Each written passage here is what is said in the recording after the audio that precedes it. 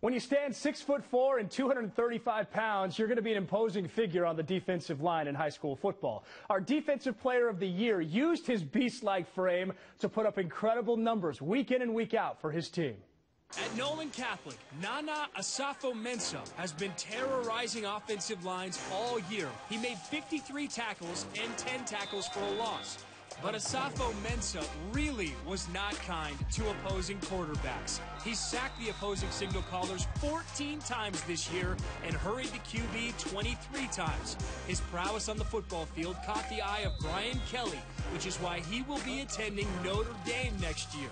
It's also the reason Nana Osafo-Mensah is our Defensive Player of the Year. And Nana joins us right now along with his coach, David Bowden.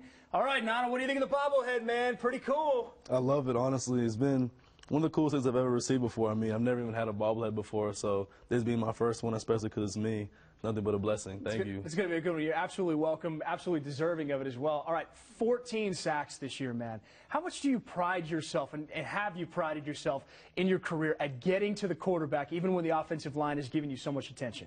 I honestly haven't prided myself in it much because originally I used to be a linebacker. So coming in transition and playing defensive line, I started that my junior year, and I just owe a lot of it to my defensive line coach, uh, Coach Ron Cook, because he's the one that really taught me how to pass rush and what to do really. So a lot to I owe a lot of it to him, honestly.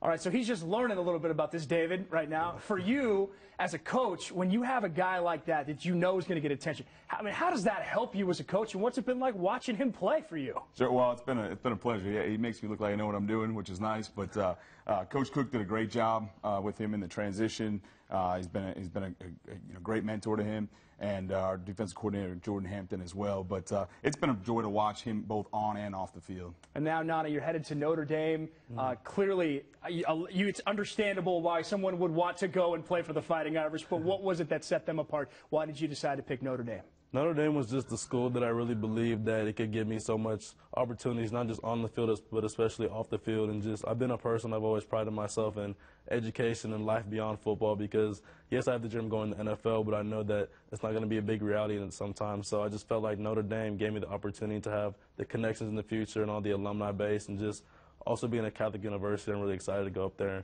and attend a school like that. Cannot wait to watch him play on a national stage on Saturdays. Man, it's been so fun to watch you play in high school. Congratulations on a fantastic career and a great season this year, and thanks Appreciate for being it. in the studio.